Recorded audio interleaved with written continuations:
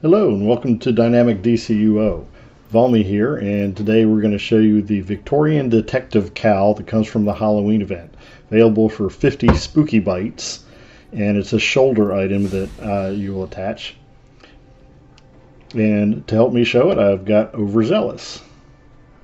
And he's already wearing the Headless Horseman chest piece that came from last year's event and I really have enjoyed running him without a head and um, wanted to see how this cowl would do on top of it.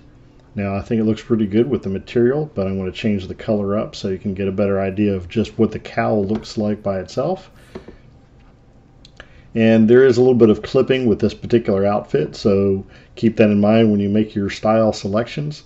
When I go with the material on there, it blends in and it's not really much of an issue, as you'll see. But overall, it's really nice if you're trying to do a Victorian thing. It gives you that high collar look so if you're doing a cape or something that also has a high collar, you might have clipping issues.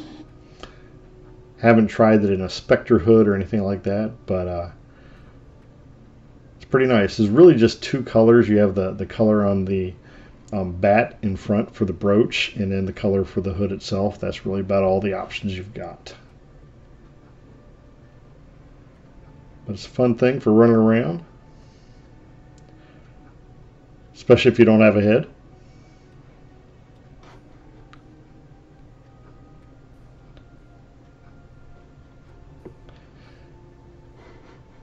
So I hope you enjoyed this content. If you did, please hit like and subscribe. And as always, happy gaming!